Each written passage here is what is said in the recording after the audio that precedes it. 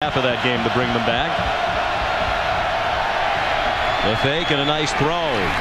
Very near a straight week. Cousins will have to bring Michigan State back from an early deficit. Danny Fowler turning the corner, stayed on his feet, and he got a first down after Martin went out with the ankle injury. Fowler was involved in a couple of big plays.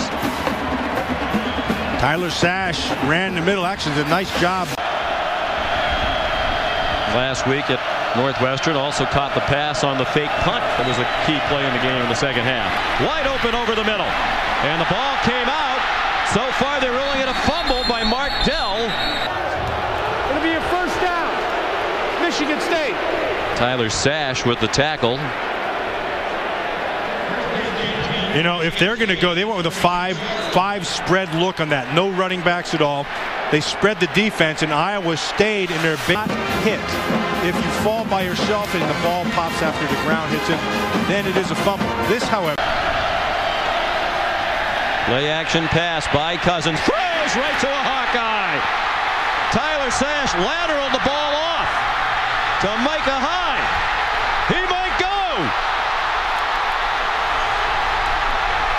Inside the five, lunging, touch. To watch Sash right here. The receiver is going to run a nine route. He's going to uh, actually a comeback rather, and he's going to undercut this, and he plays it beautifully because he takes away the underneath.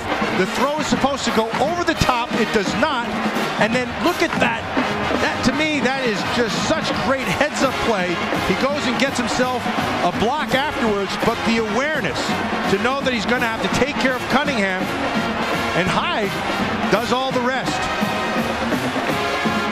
Sash took it about six yards. Hyde 66, 72 yards the total. Interception return. And Sash is more than a little bit fired up. And Spartans from their own 40. B.J. Cunningham, the motion man. And here's the freshman Le'Veon Bell. Lowers his first round pick in the NFL draft. Third down and short. Cousins has a man. There's a flag now. Keith Nichol to catch. He gets run out of bounds at the 48. Pass to Nichol. Wiped out by the timeout. They throw to the right again. Caught by Mark Dell for a first down to the on second and eight. Cousins in the flat and Bell got flattened by Tyler Sash. Another big play by the junior from Oskaloosa, Iowa, about an hour and a half. One loss came at Wisconsin. Wisconsin won here at Iowa last week.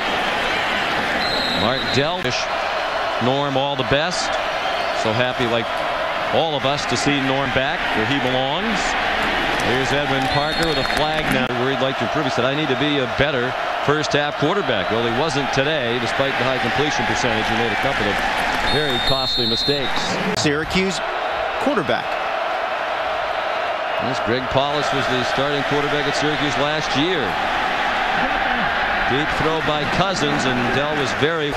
They argued over which player would leave her tickets, and because Micah Hyde and I was the home team, she's sitting in the Iowa section today. It was 30 to nothing Hawkeyes at the half. They've added a touchdown here in the third. Deep throw into coverage, and a good catch made by Dell. Well, at the six yard line. Great job by Dell to track that ball. He knows he has man to man on the top side, tries to keep the safety over, and he does with Sash. But watch him come back to get that ball. Cousins pressured, throws, batted down in the end zone.